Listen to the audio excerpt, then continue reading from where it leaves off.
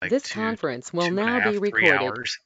Yeah. I, I've seen, that's why I jumped on that time. I was like, holy crap, what's wrong? My video hadn't come through yet. And even though it only processes the recorded part, it doesn't start process until the meeting's over, which I don't care. I usually don't get it out till next week anyway. Oh, do I have it out now? Yeah, you put Jason, Travis, and I together, and it's not good. So, um, here's that, you know, I was talking about the new fans. Um, I've got some information on them again and then some links to them as well. But it's starting with container 103. And for anybody who is keeping up with their container number. Um, and it's going to start from there. So it may not be all of them from 103 forward. It, you know, it may be peppered in at first, um, but we're getting away from the centrifugal fans and getting to the inline quiet axial fans. And these are plenty sufficient. So you, you may not even need to go get an, you know, an aftermarket inline fan anymore. So the Aurora has a three inch port. The Nova 51 and 63 are going to now have an eight inch port. And the Nova 24, and Nova 35, and the Odins are going to have a six inch port. So, and the Mini 60, I think, is going to be a six inch as well. It's going to be the same as the Nova 24. So that's the change coming in the exhaust system uh, from container 103 forward. So that'll be some neat. That's some neat innovation because we, you know, everybody's getting those things. They're like, hey, why don't we just put them in there anyway, or you know, something similar. And the one that you know, the 24s have been coming with these similar fans forever, and they've always performed very well. You know, so these are good fans. So I think that's all the new stuff I got right now. We're still working on some logistics stuff, um, but we'll have more on that a little bit later. So I wanna know That's all I got. can that. They can't from us, but they could. Video or something. I hear Grant. yeah, I was gonna say Grant's on a phone call or something. Yeah, just a second. Sorry, guys. Oh, you're good. Mute him. Hey, Brian. Yeah, go ahead, man. Hey, it's George. Just Hey. want to ask you a question, man. What's Yeah. the uh, email address for customer support again? For tech support, it's support at thunderlaserusa.com. If um, if you don't put the USA in there, China uh, has adopted the same ticket system that we use, and there's is support at thunderlaserusa. I mean, uh, thunderlaser.com, and ours is thunderlaserusa.com. And it's confusing, and I'm working on that because in the manuals, most of the links still go to the Chinese site or related stuff, and that's throwing some people off. So we're working on that. But the uh, place for all support starts at support at thunderlaserusa.com. And using that address is also how you schedule the training? It is. Okay, Yeah, I just can want just to make shoot us sure. email and say, hey, or you can just go on the site. Uh, here, uh, uh, I'm still showing it on. it. You can go in here to schedule and just search for schedule, and then there's the the training. But I, a lot of times we like to get people to email us because they may wait until their training period, for instance, because they couldn't get the uh, exhaust to come on. And the reason why is it only comes on when when there's a job, so they don't do anything else until they're training because they're afraid they're going to mess something up. And so it's we like to catch you early and say, oh, if it's your scanning offsets, here's a video on that, or you know, have you done this to try to get you ready so the training is on training and not setup. Because we can do 30 minute sessions for setup if you need help with Ethernet connectivity or setting up a camera or things like that prior to doing that, so that it'll all be in place and ready when we go. Because I was talking, I was on one of the calls, I think it was about a month ago, and I Mhm. submitted a support ticket. I think it was like a few days later. And uh, I was having some issues with my camera. You, I think you made a suggestion, check on my MacBook to see if I've disabled the camera built into the Mac. Mhm. So yeah, I'm gonna, um, my goal is to get that laser up and running before uh, December 1st, especially Gotcha. since it's been here for three and a half months now, four Sure. months. Yeah, well, if, if, if you want, just shoot us an email right now or when you get a minute and say, look, here's what I got, here's where I am, and then I'll fast track you through what you need to do. Okay, awesome. So, Thank you, as always. yeah, absolutely, man. Hi, everybody. Yeah, don't forget your cheat sheet going to Brian's cheat sheet too, because it'll help a walk you through a lot of the setup as well. Yeah, I- I'm I'm working on that version too, but it may be like quarter three of next year when I get it done.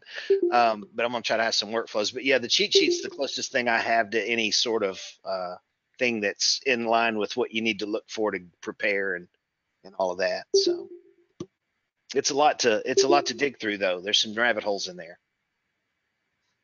So, how's it going, Grant?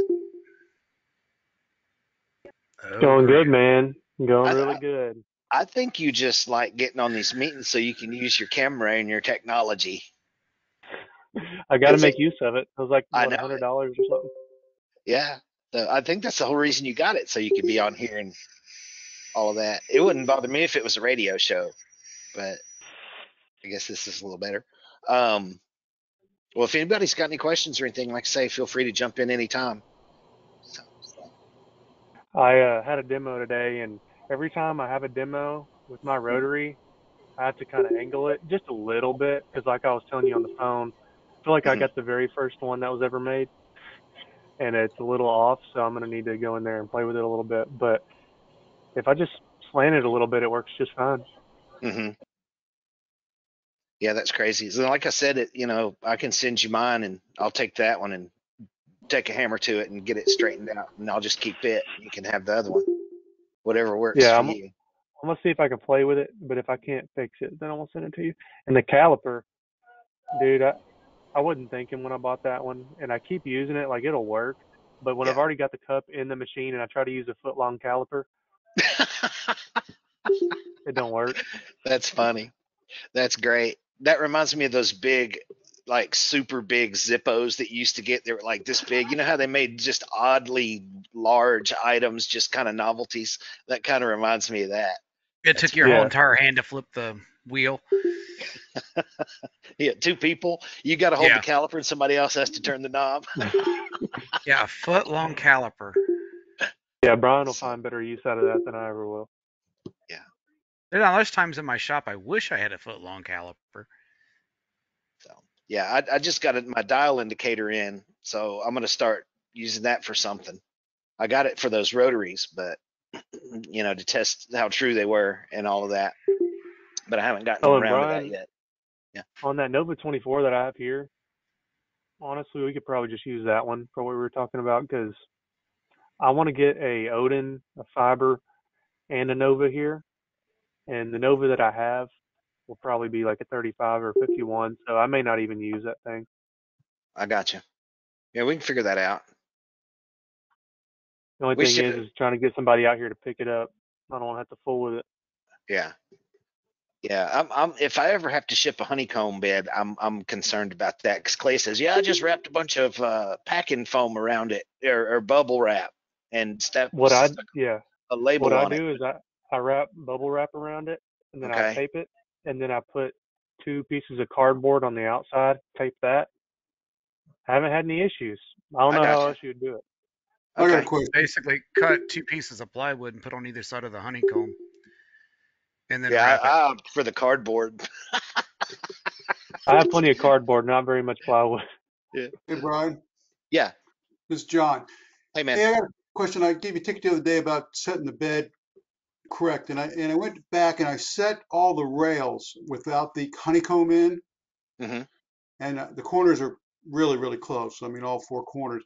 But then when I put the honeycomb in, uh, the whole front. I have to look at those two metal pieces again, but the whole Mhm. honeycomb is high in the front by about two millimeters. It's fairly high compared to the rest. once I put the honeycomb in, it's different.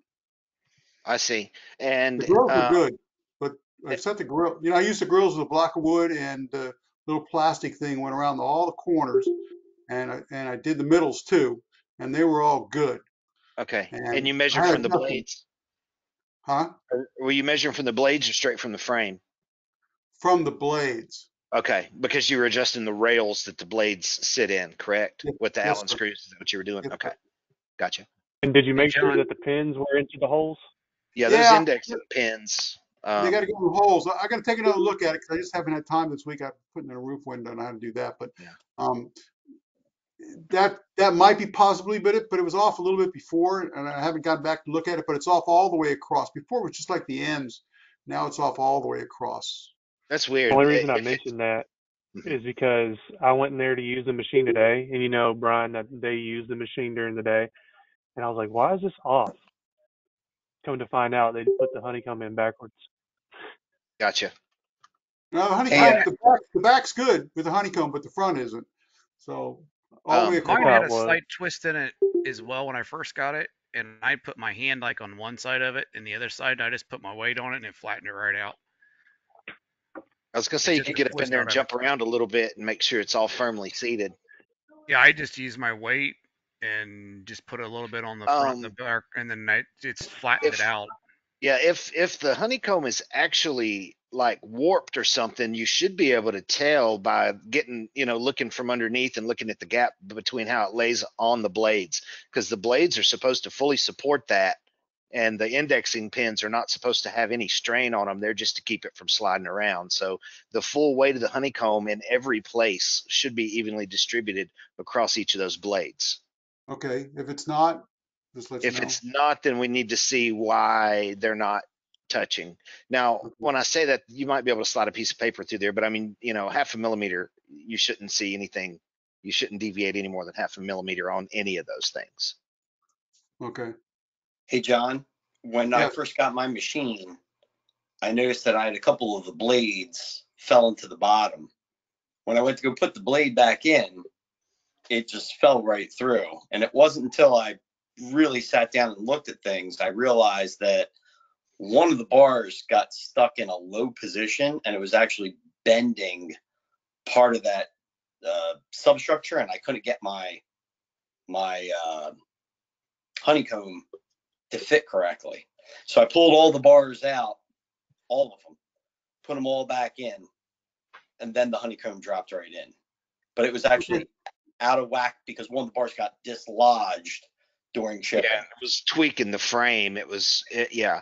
And then once you pull all the blades out, that frame will relax and then, you know, they'll sit back in. And, and it sounds like you may have already taken all your blades out at one point or another. You would yeah, have to I I almost checked. I checked them all because then I went around the corners and I did the adjustment screws in the corners after, and I pulled some of the blades out and there weren't any dropped off or anything. I appreciate the info, but there weren't any dropped off. I, I can't, can't say, I mean, I actually pulled some of them out. I didn't pull every one of them out, but I did pull a couple of them out and they all came right out.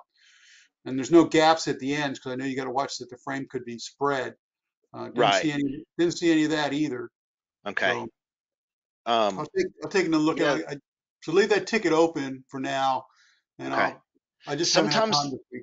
Yeah, sometimes they auto close after a month, but I think I have the notifications turned off because it doesn't matter. As soon as either one of us get back into it or even, you know, reply back, it just opens back up like nothing's wrong. So there's, Okay. we don't really have an open and closed other than in the analytics, you know, to track technician performance, but I don't use that particular metric uh, to track us because it's too uh, i want competition but I, it, it ends up being the regular kind of competition where I, i'm i'm working this ticket and this ticket and this ticket and this ticket and you're going to work those tickets and i want all of our techs to be on all of the tickets all the time so our numbers are, are goofy when when admin looks at them Okay, I'm that's fine. I just didn't, didn't know how y'all did it. That's all. Cause Yeah.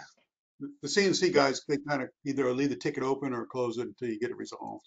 Right. Yeah, we we try to leave them open for a month, and that sounds like a long time, but a lot of it is they may be waiting on a power supply from China or something. You you know what I mean? So a lot of our tickets remain open. You know, they're even though we resolve issues in minutes or or first response times usually somewhere between three and twelve minutes, depending on how it comes in. Um, after that, some tickets may be open a month or two while we're going through stuff, and as they get older in age. Um, they drop a little bit to the list, but anytime somebody mails, you know, it bumps you right back up to the top again. Okay, thanks. Hello, Travis. How's it up there in Alaska? Uh, we're having snowmageddon up here today. They're, they're calling for uh, one to two inches of snow. We're at 10 so far. We got, we got Oh, wow. 75 down here in Virginia. It's hot today, t-shirt weather. Uh, it, it's uh, night or sorry, it, it's warmed up. It's 24 degrees up here now. Yep, 10, 10 inches of snow, and they just said that we're supposed to get another three to five. Wow. Yep. Well, so are you making like uh, snow shovels in your lasers today or something? I don't think uh, wood your snow project? shovels would work too You, well. you need you need uh, crawlers and stuff, huh? Big stuff. Oh Snow yeah. Yeah. cats. and stuff. Knowing him, he'll modify his lasers to shoot out in the parking lot to melt all the snow. Uh, Get a I'm gonna flamethrower or plead the fifth something. on that.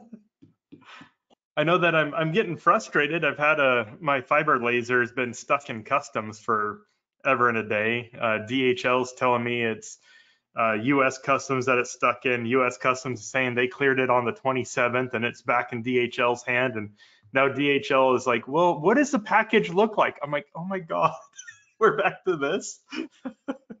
so yeah, so DHL has uh, lost my fiber laser. Uh oh. We used Well, to call I'm sh- DHL day late. Huh?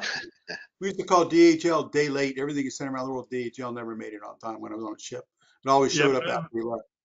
Yep. Well, they're they're pushing uh, three weeks late right now, and I'll give them one of the weeks because of customs. But uh, yeah, beyond that, I'm like, uh, where is it, guys? you'll have to go hunting it down. Yep. So- You didn't and it's it not so much that they lost your laser; it's that you don't have your laser. Yeah. Yeah. Exactly. It's it's Uh, not. I don't it's care not if they how- lose it as long as it gets here. yeah, as long as you get one, you know. Yeah, that's crazy. So The sad thing is they don't care. Nope. Not one bit. Doesn't affect them in any way, shape, or form. Nope. so Grant, do you have anything new and exciting going on that you just can't wait to let the cat out of the bag or anything? I know he's. The this is a reason I- feeding- No, There's the a reason feeding I asked that question here. Jim said, Jim said, uh, yeah, we can talk about all the n- stuff we're not supposed to talk about before we start recording. And so you weren't on here yet then. So I figured I would just check with you. He likes to give us. Nothing that I shouldn't talk about. Um, just ready for this building to be built out here. I don't know how much of y'all know. Um, George has been out here. George, we're adding on in the back. There's going to be uh, more office space, and then to the side of the building, there's going to be a warehouse. And so they've been like really hammering down out there. It's been loud, but ready to have an office with a demo room and all that good stuff. But besides that, not a whole lot else going on. So warehouse, does that mean you're just going to start stocking these things? It's not going to be a Thunder Laser warehouse. It's going to be a Stitch in Heaven warehouse. The goal is to stock these things, but we're selling way too many of them to stock them. Whatever ones we can get over here, I'm gonna give them to people instead of keeping them. You know. It's You're been that way from Grant. day one. It it's been pre-order like that from day one. You know, I think from from day one. So these weights aren't really shocking to me. I mean, they're a little more, you know, with the COVID stuff, but even prior to that, it's not terrible. Not not once you get used to it. Wasn't it you guys uh, went from selling like 20 units a month to 200 and something units a month? Less than that, but now we're at we sold 130 something last month, and I think we did that the two months before. But we're hoping in December we sell over 200. The the first year I did that, I'd moved like what, 80 machines the whole year, I think. But that was me just walking in fresh, you know. And I was like, "Whoa, that's cool." And now they're doing that in a week. I'm like, "What? What's going on here?" Yeah, there was one week in December. I think it was the last week of the month. We sold 83 in three days, and I, we all had COVID, working from home. Yeah, and and the weights aren't that bad. I mean, I ordered a CNC router made in the USA, and it took three and a half months. hmm Yeah. It Maybe familiar one day, if the ports ever clear up, we can get them in like a month or so. Yeah. 'Cause It only takes a, a month, like two to four weeks, to get it from China to a customer if there was no problems. hmm So how many you got sitting out there in the ocean now? There's no telling. Hundreds. He doesn't want to admit it. There's really no telling. I could go count, but there's probably like six to ten containers sitting out there at the sea, and there's like 20 machines on each container. Jesus. Oh, my, Yeah. give you guys, my father-in-law today, he come into my shop. He says, guess what I did? And I'm like, what? He says, I bought this big, huge package of toilet paper. And I'm like, okay. and I think it was a 24 pack. He said it was the last one in the grocery store. I'm like, okay. He says, you want to know how much it cost? I'm like, oh, this must be bad. Twenty-six dollars Wow. for a Oh, 24. Twenty-six dollars for toilet paper. That is insane. That's normal for us up here. Yeah. Uh, yeah, but we're, before, I, we're before I forget, uh, happy Veterans Day. And I just want to take a minute uh, for that. I, per- I didn't serve personally, but I have family members that did. So thanks everyone. So I thought I would take a minute. Um, I didn't realize that until the mail didn't run, to be real honest with you. I was Same wondering me why I didn't get my stuff. and you Grant, guys didn't serve. serve? Thank you very much. Uh, if it makes anybody feel any better, I don't remember Christmas or birthdays either. So I, I'm just that way. But anyway, Grant, didn't you serve in the military? He's thought too. you did. My bad. He's not, I he's not served. old enough. He only graduated last year from high school. Just about. I did 20. I did 22 years in the Navy. wow. All right. Thank you. I Thank did you. 20, 28 in the Navy Reserve, but my wife did 30 active duty. Nice. God bless you Wow. guys. My daughter's Yeah. on number 22. I was active duty. My Awesome. wife did two 20 years years also. active. Yeah, it's Awesome, like three awesome. quarters of my family is literally active duty. I've got my cousin and her husband, which I think one or both of them's retired now, but every single one of their kids is in the military, and they got one in high school that's already enlisted. And they got six kids, so they're that Oh. that that little group right there in itself is Big. crazy military. Mhm. So How many people are uh, in the process of making 8 million Christmas ornaments right now? Man, nothing. not me. I mean, None of you guys? Yep. No. I'm still I'm working on getting my you- I'm laser waiting for you working. Show me on YouTube how to do all that. yeah, I know. I've been slacking lately. Slacking. I just figured you gave up.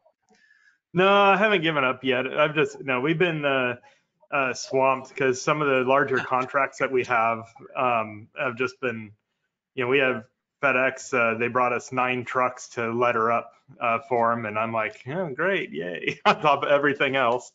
So uh, Yeah, yeah. You do a lot more than just lasers too. You Oh, we, big- yeah, we're, yeah, a we're a full service shop. We stuff. do, yeah, so and we do full, you know, uh, large format uh, sublimation, large format printing, vehicle wraps and graphics, screen printing, direct to film, direct to garment, um, sticker and label making. We, we do everything. We even have a little boutique up front. Mhm. I figured he was getting slammed. I was like, yeah, it's he's it's that time of year. He's getting majorly It's slammed. Yeah, It- it, it, it probably pays a little better to wrap a bus than it would be to make Sally an ornament. A little bit, yeah. Are you guys all in the uh, hustle and burn group?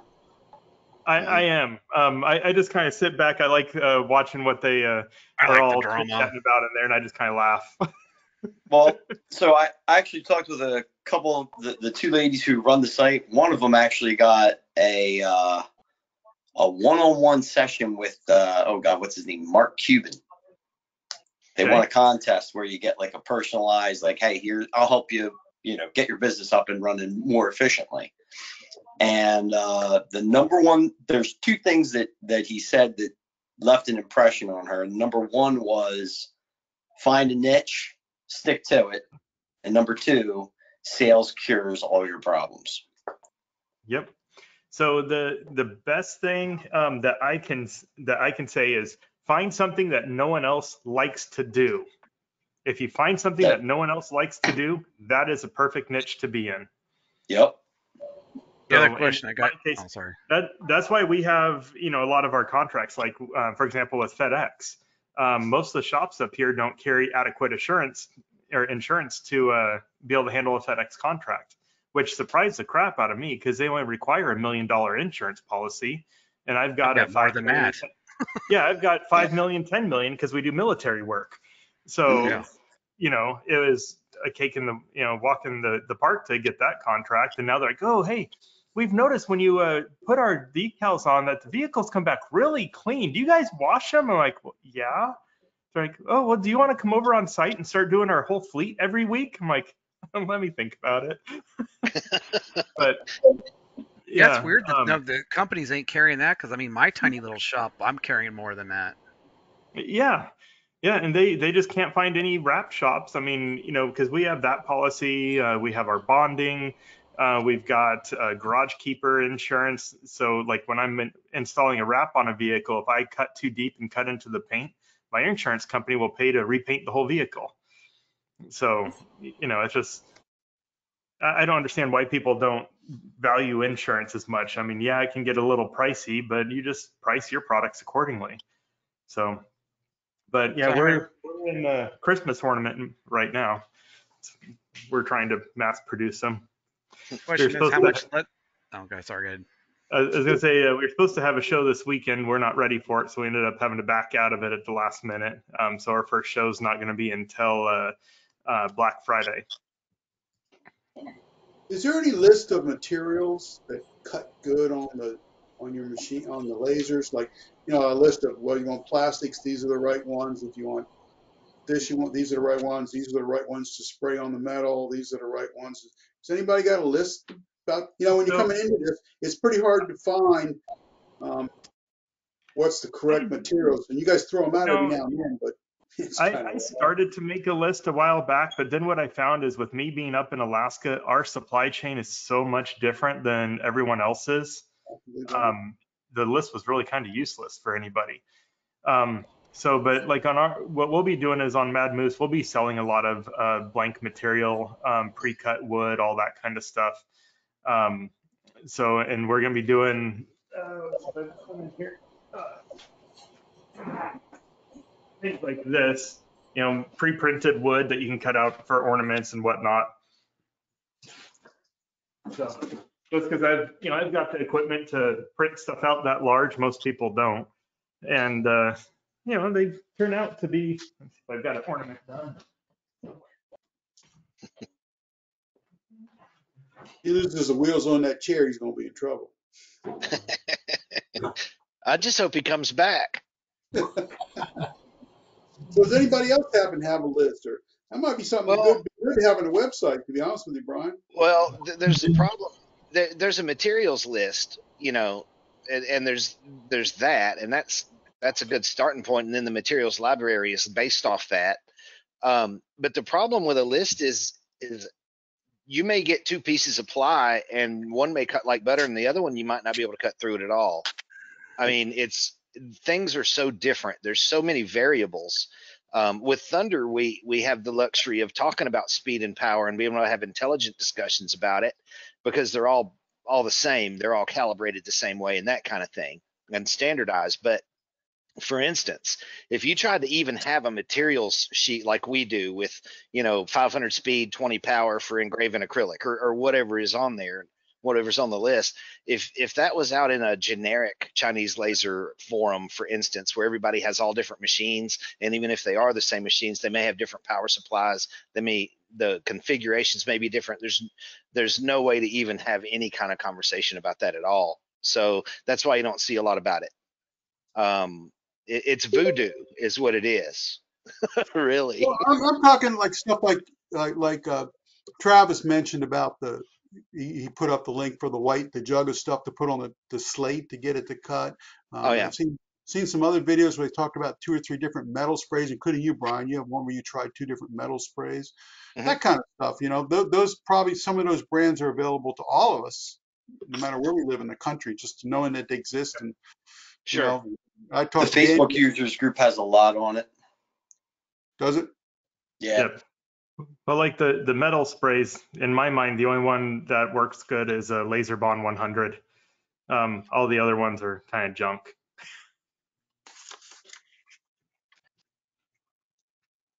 So how many Um, people done Let's Go Brandon stuff? Out of curiosity. I have stayed away from it. um, yeah, so here here's a little tidbit of information. Um, the day after that actually happened, it was already trademark uh, trademark term. So everyone that's like- doing that now that uh, that trademark attorney is running rampant, having fun with it. So um, back to that question you asked, John. I do have a draft about marking compounds, about Ceramark, uh, Brilliance, Enduramark, and then a bunch of Heaves.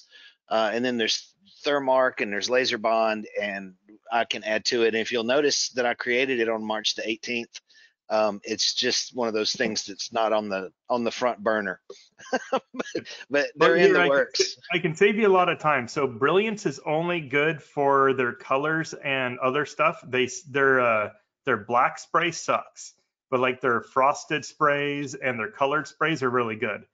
Um, Ceramark So and you Duramark. So not Huh? any good for black. Brilliance isn't any good for black. It's just their colors. I didn't I didn't care for it. Um, honestly, with Brilliance's black, I got better results with just straight dry moly lube than I did with Brilliance. Um, but dry moly lube is a royal pain to work with. It's super messy. Oh, Um, you're you not played with that one before? Oh gosh, a lot in the K40 days. So Don't really colors, care for that. colors are good, huh? But yeah, the the Laser Bond 100, I have never had issues with. Um, you know, it adheres great, it engraves great. Um, it's got a really uh, wide range of uh, power tolerances, uh, where some of the other ones you have to have it really super dialed in. Um, but yeah, Laser Bond, the Laser Bond 100 is probably my my go-to one. And that's funny because that's one you don't hear about all that much. Nope, Yeah, I you didn't don't. know about it till just now. Yep. And I, I like It's to a- keep it that a- way. When when my stuff turns out nice and black on stainless, like, how are you doing that? I'm like, hmm, dry moly lube. Yeah. Um, That's also priced how right. you apply it, you know, and, and well, the other thing is, is eh, somebody looks at a can of this stuff and goes, Oh my gosh, it's a hundred dollars. You know, that's crazy. But it's kind of like the same thing I saw. Like if you have a laser printer, uh, one of my laser printers to put new cartridges in it, new toners, it's like seven hundred dollars.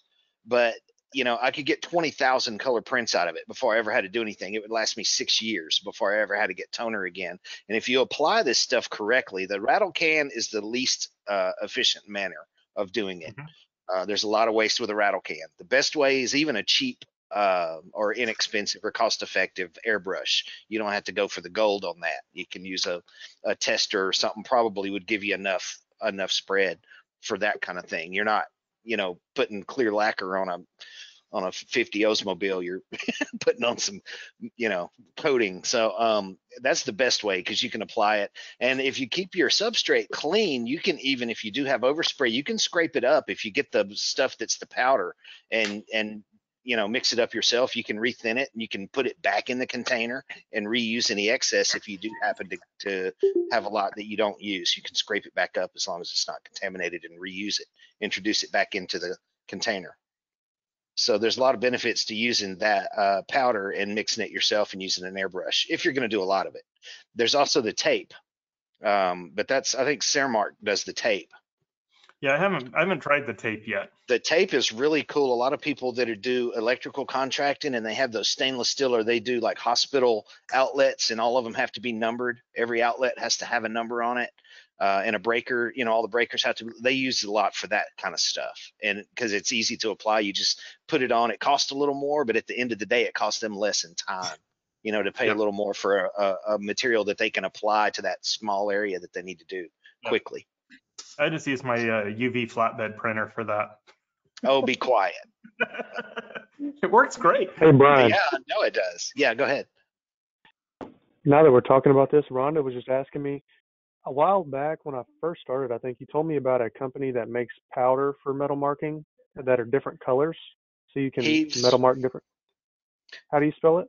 Heves. It's uh H E V E S. Hang on, I'll pull it up. Oh, what happened? Did I get? Oh, never mind. Yeah, Uh, no, he, yeah, he, Heves is good. Um, I played around with a little bit of their stuff, and now Brilliance is coming out with the colors as well. Um, but yeah, and uh, you know, and even if you wanted to start off with the rattle can on that marking spray, I mean, I can spray easily a hundred plus tumblers out of one can of that stuff. Yeah. So you know, your cost still isn't that bad. let's see. Here's Oh, the okay. reference chart. Yeah. Uh, here's now some of this is for other stuff too. They have some for porcelain. They have some for glass. They have some for metals. I think. So yeah, that's the one. Do you want me to link that, Grant, so you can copy the link in the chat? Yeah, if you don't mind. I just, I haven't looked at the chat yet. Okay, good. Nobody said anything because I sure would have missed it. But yeah, that's the Heves ink. Travis, what um, label printer are you using? Um, right now I'm using uh, an iColor 250, um, and I'm getting ready to, what is what I'm, we're getting ready to upgrade it um, to, uh, what is it? I've looked at a couple different brands, like the big ones, like the Rollo, Rollo Rojo, or Rollo, whatever the heck it is. And So- the a lot of it comes down to how much you actually are planning on doing. Um, so my little uh, my little iColor 250 that I have, um, what I like about it is it prints and cuts all at the same time. Um, it's definitely not the fastest in the world. I can only do about 300 sticker or uh, 3,000 stickers a day. Um, but the new one, that's not many. That's not much for stickers. Okay. Um, I'm talking about for one- shipping for shipping labels. You're not using it for shipping labels, are you? Oh no, no, That's no, what I'm no. talking- shipping label. Sorry, I missed that. I missed. I use the Dymo 4X. It's compatible Yeah. with more systems out there than any of the others. Yep, yeah. For shipping labels, that's why I use it as a, a Dymo uh, 4XL because it sync, like Brian said, it syncs right into everything that I use. Yeah, because I've looked at that, and then was it the Rojo or Ro? Uh, I forget the other brand name was. Save your save yourself. now, a- If you want to go commercial, you can get a Zebra, but you know, zebras Yes. aren't bad, but there's just something about the the Dymo is just kind of plug and play. And It is. Um, don't buy the Dymo brand labels. You can get the knockoffs off of Amazon or eBay for next Yeah. to nothing, and they work great. Yeah. Um, I've never had a jam. I've never had one yeah. come rolled on me or anything. It's Yeah, Rollo, so- I guess it's what it's called. The other one I was looking at. Yeah, so we we just fried our first Dymo label uh, maker. Uh, we had to replace or replace one of them here, um, and it was seven years old. And we print a lot of labels. You said it's a Dymo XL. Uh, 4XL. 4XL. Yeah. Yep, that, that's the only one of theirs that will actually hold the four by six shipping labels. And it's also in the list of compatible printers for most of those applications, even if they're web-based, like for FedEx or UPS or ShipStation or any of those that integrate with a label printer automatically. That's that one is is super super common. Yep. Yeah, and that's what And we do is all of all of our different stores and everything, they all feed to ShipStation, and we use ShipStation to uh, feed out uh, to the Dymo. Yeah. Yeah, I that think that's label actually it. The one I had. funnest thing I've ever had is when I put that label maker there. Because now when somebody says I need a, a a sensor for my water chiller, I can get all the information and hit a button and walk around and throw it in a box, and my label's sitting there, and I stick it on there and put it in the outgoing box, and I'm done like five minutes. It's Yep. it's Yeah, incredibly I used cool. to do it all by hand when I was doing retail before, and I was like, this time, this go around, if I want to go back into doing retail, I'm getting a label maker. That handwriting, making labels by hand sucks. Yeah. And this Yeah. helps a lot too. The barcode scanner. I've got barcodes on everything, so I manage inventory just by scanning it in and out, and I can get the serial numbers off of a DSP before I send it to someone just by clicking a button, and it goes right into my systems. It's wireless, so Yep. that's a good thing to have too. You can get one for twenty bucks. Yeah, I, I spent a little more on mine. Um, the one that we have is uh, Bluetooth, and so it actually uh, it'll hook up to all of our computers. Um, so we've got barcodes on uh, the computers. So you just go up and you scan the computer, and it'll actually sync that barcode scanner to that computer With while that you're using it. Yeah. So it, it's really really nice, and I think it was still only like you know 60 bucks or something like that. It wasn't Yeah. much.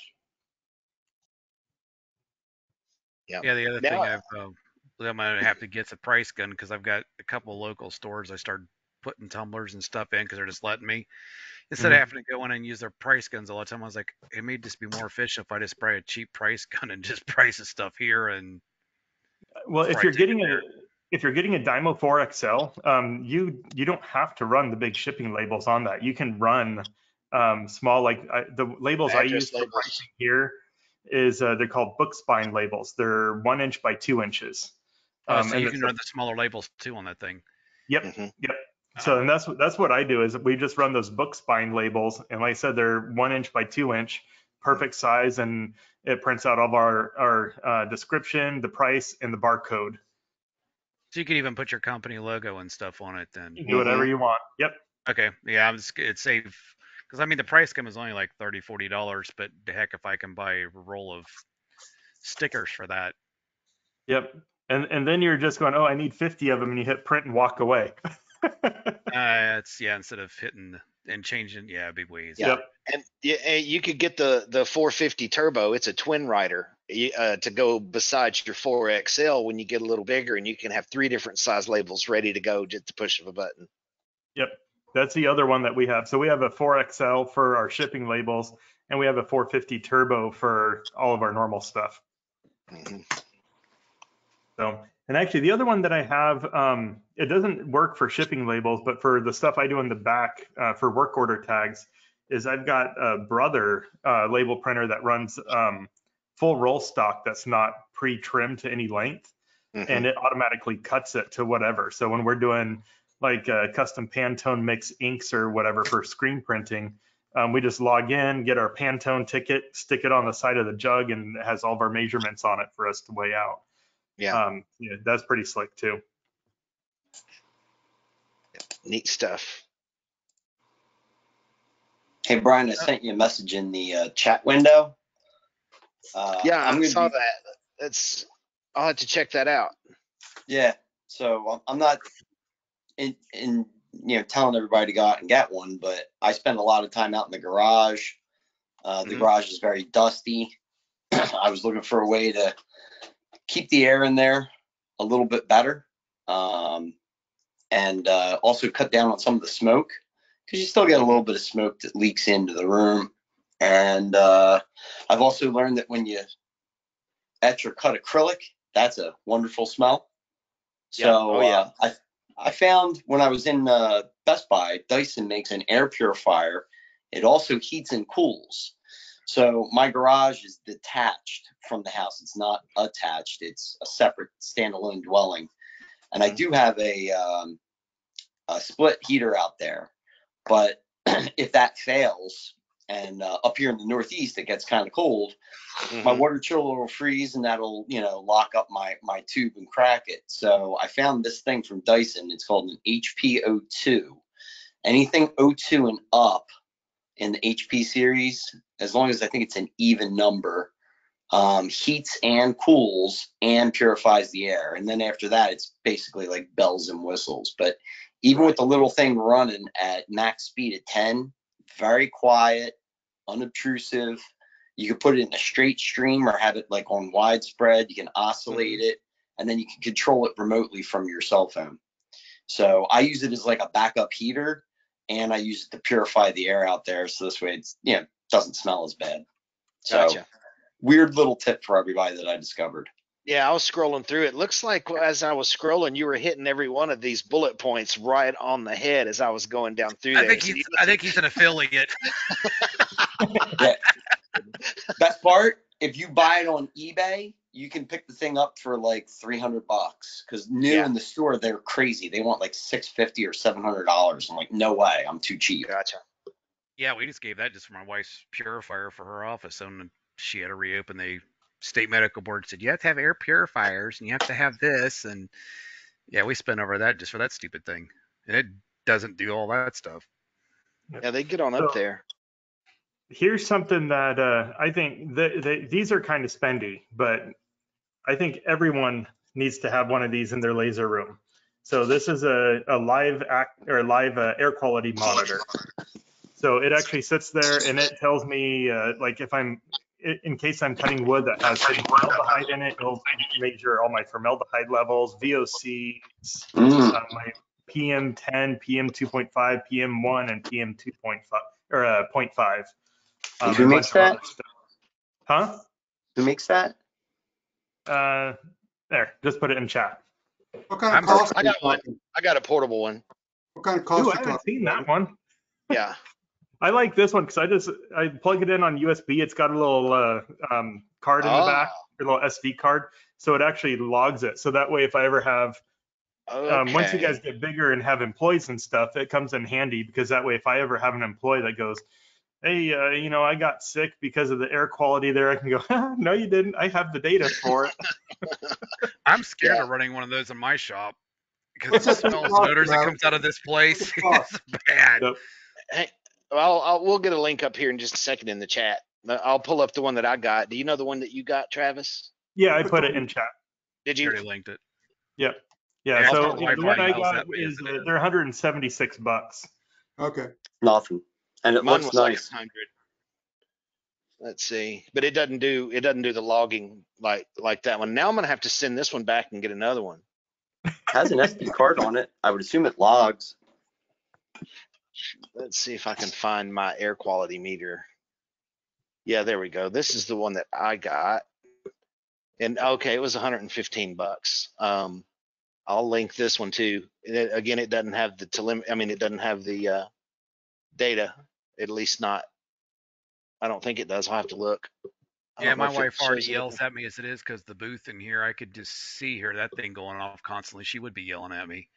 Yeah, Yep. get back to the Uh, chat. And that's the one thing, like with mine, I've got limits set on it, so it screeches at me whenever I break a limit. Um, so, you know, anyone who's in here, uh, if it's me, I, I'm just kind of ignore it. But if it's any of my workers or my wife or anything, if they hear that go off, they have to get out of the room until it flushes. Yeah, and I like that one you've picked out there, Travis. Maybe I'll get one of those for home and then I'll keep this other one for my toolbox. Yeah, no, I've I've been really happy with it. Um, and what's nice is it's even though it's a box and it plugs in. I mean, like right now it's running and it's got a little battery in it. It'll run for a couple days on a battery. And so when we go out and do uh, on-site installs, uh, especially out at the hospital, um, they always love to yell at me for you know smells. I'm like, I'm using a citrus cleaner. It's fine. They're like, no, no, the VOCs. And so I'll, I'll usually have my little meter sitting there with me. I'm like, VOCs are just fine. hmm Yeah, one of the sprays I use in here has got 850. I actually have to sign waivers to get it. That's awesome. Yeah, the, the stuff I use is uh, I, I've got a I have a couple uh, products that I use. Um, like one of them, I don't let any of anyone touch. I'm the only one who will use it. Um, it comes out of uh, Korea, and it's a special tar remover for vehicles, and it's the nastiest stuff. I mean, it's it's worse than using uh, diesel on a car to remove tar and bugs off of, but it Yeah, works. the one conversion varnish I use is one of the ones I have to sign a commercial license for because they just don't sell it to anybody. But the even probably two to three days after the off gassing, it's horrible. But the thing is, the that conversion varnish is almost indestructible. Um, Yep. I've actually used it on a countertop. After it cures, it's perfectly fine. Anybody Uh, ever tried uh, Campbell Crystal-Lac? You, it's a, you, you, you put it together. You, um, put the stuff in. Two but- part. Yeah, it's a two-part. You, you're, you, um, catalyze it. Yeah. And, uh, but it's really good. It's, it's like you say, it's a, it's not, it's not cellulose lacquer. It's a chemical bond lacquer. And it, it's impervious to all kinds of stuff, but boy, what a wicked smell. God. The ones I like the most probably is uh, ML Campbell's Magnamax. Yeah, uh, lacquer. Um, we sprayed that in the finish shop, and I think it has a good smell. Everybody else says it stinks. It's the conversion varnishes that absolutely kill you.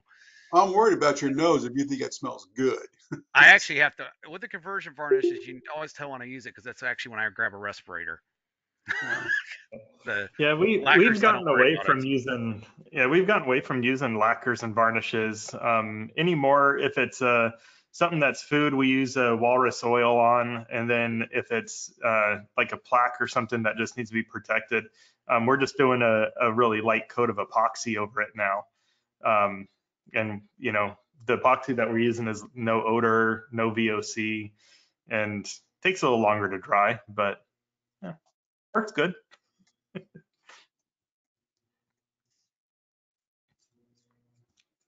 Sorry, I got sidetracked. I, Dead w- I- we just hit our uh, 5,000th uh, support ticket.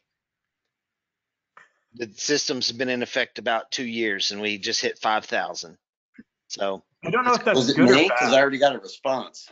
um, did you get a response? Yeah, Chris already replied. I'm like, oh my Gotcha. gosh. Yeah. Hey, you want to you want to see something cool? Y- I'll, I'll show you real quick. Here's how this kind of works. So let me let me let me get this all the way up here. So Chris actually made the the five thousandth ticket, and he says he needs a uh, red dot pointer.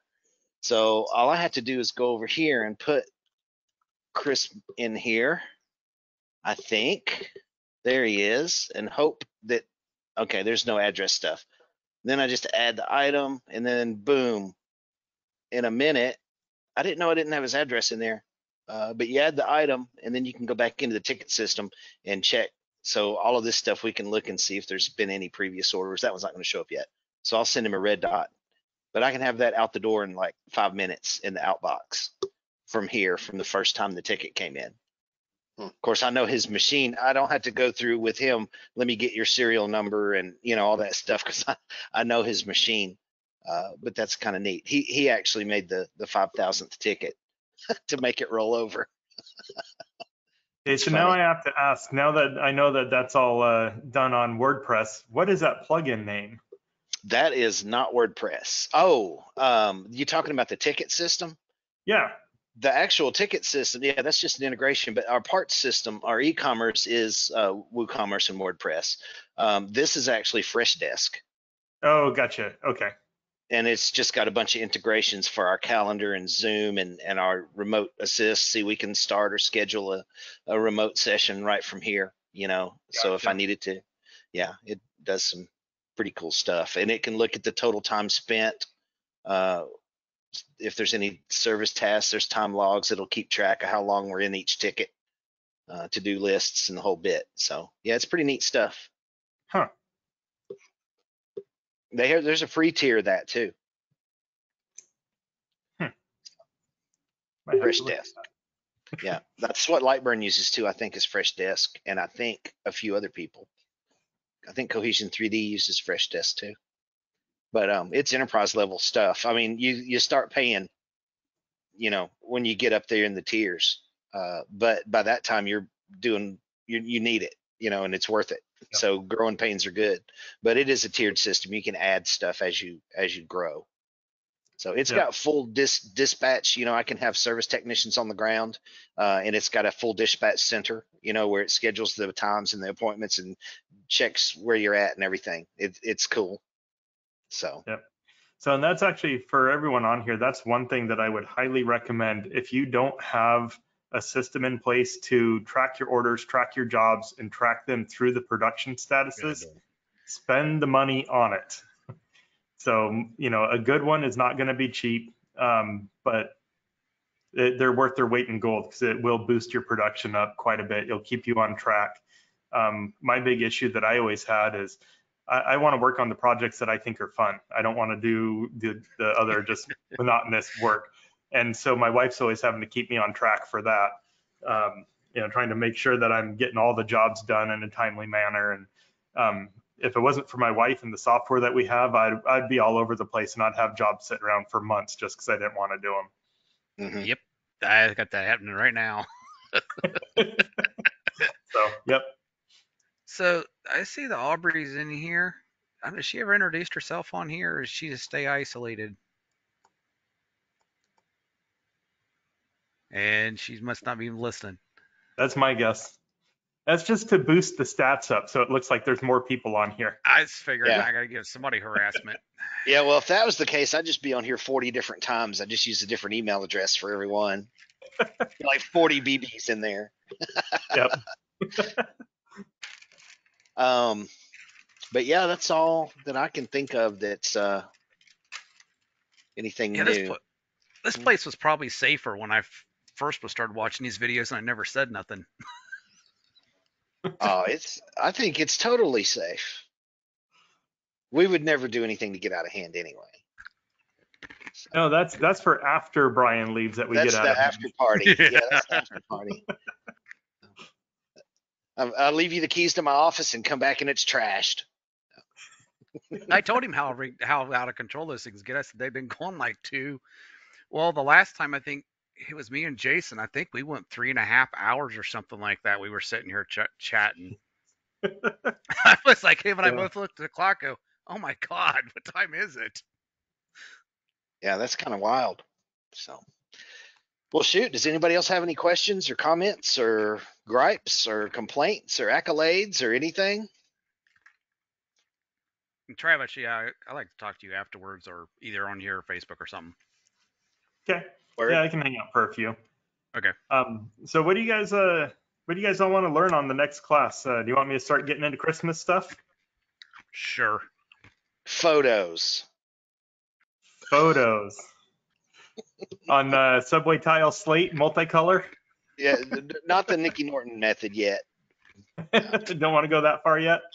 I, I want to try that one of these days. Oh, it's a I'm it's a actually gonna be- blast, but um, the big thing is you've got to uh, invest the time to learn how to spray paint out of a rattle can and Even- get it consistent every single time. And then you've got to sit down, and just play with your laser, because you know I can throw out the numbers I use for multicolor, but it's It won't going to matter. for- Yeah, Yeah, because you know I might yes, someone might be spraying, you know, two microns thicker than I am, and that changes everything. So, well, cool. I guess I'm gonna jump off here. I got a few new tickets to go look at, and uh, I better get Chris his red dot pointer. We wouldn't want his red dot to be fuzzy for too long. That's a perfect five thousandth ticket. So anyway, Hey, Brian, So- speaking of, um, so when I bought my 63, it was before you were around, um, and it was before they did a lot of things. Um, I don't have a wide nozzle for that. I've been using the wide nozzle off my 35. Is there any way I can just order just the wide nozzle? Mm, let's see. That's the six millimeter. That one. Which one? Yeah. Uh, let me look. Let me look, because I always see I save a couple of these out of every, you know, my inventory. I I fib a little on it, so I have a fudge factor for warranty stuff. I may Okay. have one back there. Let me look, and I'll shoot you a message and let you know here in a little bit. Okay, sounds good. All And right. when you asked well, about other things to have on the call, my local vet, when I was over there, he was talking to me about maybe making pet memorials in stone. I actually have a, a buddy of mine who had who sells soapstone, and uh, he can give me scraps at zero dollar charge. Mm mhm. So that I've never tried soapstone. There's a lot of it around here in my neck of the woods. I think, at least the close to where I lived, it was called Soapstone Mountain, and I can't imagine they would call it that if it didn't actually contain some. So, but I've seen stranger things. Yeah, because I just lost. We had to put my cat down, 16 year old cat, and then turn around. We adopted a foster or foster slash adopted another kitten. Two, lost one of those two all within two weeks. Oh wow! And now my in-laws, which they live here, they're gonna have to put their dog down next week. So we've been to the vet. I'm going, yeah, we've talked about memorials a couple times. So does anyone in here do epoxy work with their laser? Or in I conjunction with their laser? Epoxy.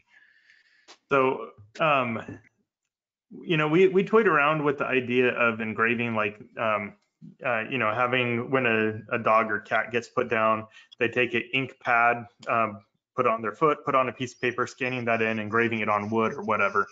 Um, we toyed around with that idea, but what we ended up going with, and actually works really well, is um, after they get the pet cremated or whatever they do, uh, they send us about a teaspoon of the ashes and we incorporate it and mix it in with epoxy um, and like little charms and that kind of stuff. So, and it, it's kind of neat. Yeah, I asked my in-laws, they, my mother-in-law, because she's really attached about doing the apo- or cremation, and no, they wanted it buried with the other animals, so I had to go out and dig another three-foot hole in the woods. But you know, wor- worst case scenario, there's always, uh, um, you know, the good uh, Marlboros or Camels that you can use to get the ashes. Yeah, you could. Well, I'm gonna Still jump off here, totally fine. guys. Do you want me to hand this off to anybody? I'm gonna Give stop the recording.